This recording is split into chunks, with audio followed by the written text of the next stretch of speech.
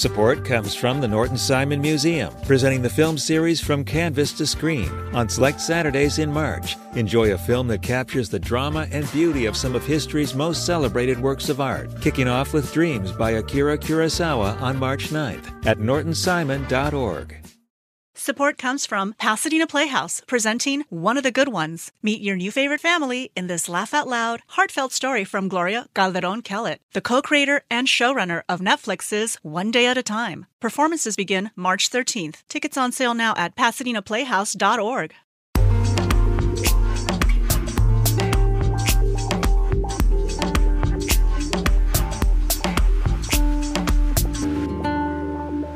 LAist Studios.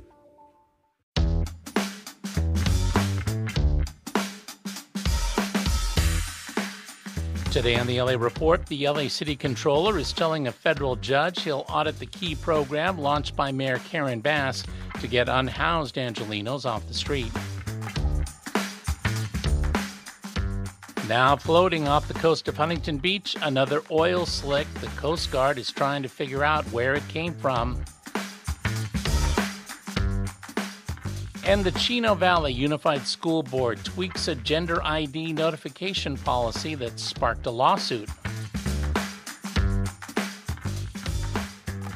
It's Friday, March 8th. I'm Nick Roman. This is the LA Report from LAist 89.3. LA City Controller Kenneth Mejia says today his office will audit Inside Safe.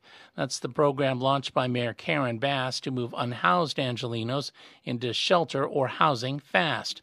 Controller Mejia's announcement comes after U.S. District Court Judge David Carter said yesterday the city of Los Angeles had misled attorneys over promises to clear homeless camps and add shelter beds to each city council district.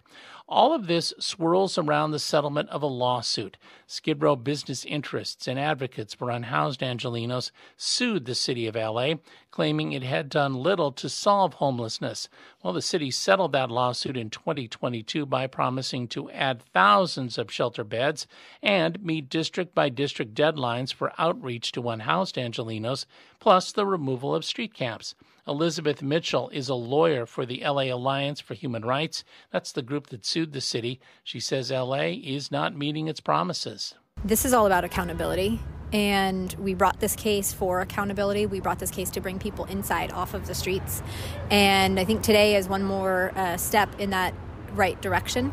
City Controller Mejia says in a statement that the Inside Safe audit is needed because the city has shown a lack of transparency and accountability with its work to end homelessness, despite billions of dollars spent. Last year, LAist reported the required spending reports for Inside Safe were missing. There's an oil slick about two and a half miles long shimmering off the coast of Huntington Beach. Details from LAist reporter Yusra Farzan. Orange County officials, the U.S. Coast Guard, and the California Department of Fish and Wildlife are currently investigating if this is an active oil spill just over a mile offshore. The Emergency Operations Center was activated to allow the coastal cities to quickly coordinate. While the beach remains open, the OC Health Agency is responding to reports of tar balls found mainly in the area of Dog Beach. In 2021, an oil pump line dumped crude oil into the coastal waters, stretching from Bolsa Chica to Corona del Mar. LAist 89.3, I'm Yusra Farzan. Coming up, the Chino Valley Unified School Board tweaks a policy that sparked a lawsuit, and the anime world is mourning the loss of the creator of the Dragon Ball franchise. Support for LAist comes from the Norton Simon Museum, presenting the film series From Canvas to Screen, capturing the drama and beauty of some of history's most celebrated works of art. Films include Dreams by Akira Kurosawa, Metropolis by Fritz Lang, Days of Heaven by Terrence Malick, and Marie Antoinette by Sofia Coppola. Screenings are at 4:30 p.m. on four consecutive Saturdays starting March 9th. More information at nortonsimon.org. As a homeowner, there are so many ways to level up your property. Install an ADU to generate more income, remodel your kitchen or bathroom to refresh the space. But if you don't have the right contractors, you could be facing a nightmare. That's why I'm excited to tell you about Realm. Realm is the largest renovation service in California. They're here to help you get personalized, trusted guidance for all your home improvement projects, saving you from added stress. With Realm, you'll get an unbiased home renovation advisor who will guide you through every stage of your project. Your Realm advisor will do the heavy lifting for you, match you with triple vetted contractors in your area, guide you through financing options, provide data driven support and expertise like local cost estimates, permitting, and zoning information, and keep your project on course. There's even a Realm app. It's so easy to use. See your home's current and potential value, prioritize projects according to budget, and track renovation costs right through the app. Remodel stress free with Realm. Schedule your free meeting with a Realm advisor today. Go to realmhome.com. Mention the LA Report during your first advisor meeting for a special offer. Visit realmhome.com and plan your next home project with ease. That's realmhome.com. This is the LA Report. I'm Nick Roman. The Chino Valley Unified School Board last night passed a new version of its gender ID notification policy. LAist reporter McKenna Sievertson says it replaces an earlier policy that had sparked a civil rights lawsuit from the state. Chino Valley School District staff are once again required to notify parents if their child wants to change any information in their official or unofficial student records. It's a similar, slimmed down version of a previous policy that ended up being blocked in court, but this one doesn't mention gender, biological sex, or bathrooms. Christy Hurst is a Chino parent. She says it's still designed to discriminate against transgender and non binary students. This board will pass an updated forced outing policy in order to survive a court battle we are paying for and they are losing. But supporters say parents have a right to know what's going on with their kids. For LAist 89.3, I'm McKenna Sievertson. We move the clocks ahead at bedtime Saturday night for daylight saving time. Pediatrician Colleen Kraft at Children's Hospital Los Angeles says if you're the parent of little kids, well, you can help them adjust by making tonight's bedtime a little bit earlier. Secondly, when you do get up in the morning, make sure you get some morning sun or some outside time because that will help to set your circadian rhythm. Dr. Colleen Kraft also says limit screen time an hour or two before bed to help your kids' brains get ready for sleep. Anime lovers are mourning the death of Akira Toriyama, the Japanese creator of the blockbuster Dragon Ball franchise.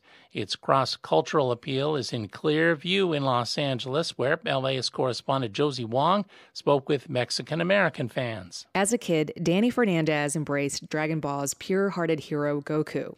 With his black spiky hair, he looked Latino to her.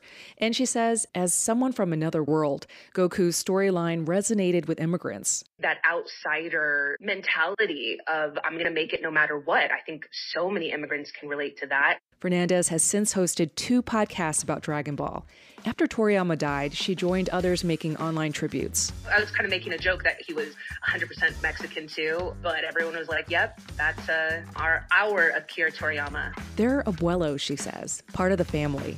For LAist 89.3, I'm Josie Wong. Thanks for listening to the LA Report. I'm Nick Roman. Be sure to listen this weekend when Julia Paskin brings you the LA Report.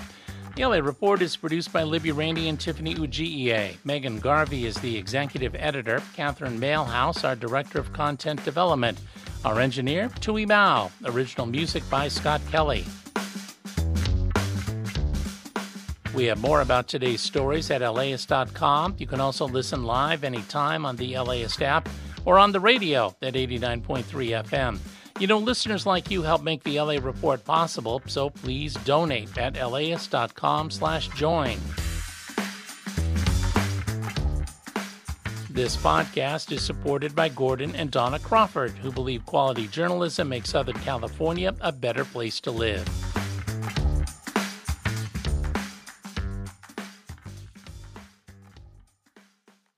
Hey, it's Brian, the host of the How to LA podcast. How about we go to the movies? Join us for a 10 part series, Revival House, and discover the magic of LA's indie theaters. Who knows? You might meet someone. I know it sounds antithetical because you're just sitting passively, but in fact, you're connecting with everyone else around you. Subscribe to How to LA from LAist Studios wherever you listen to podcasts.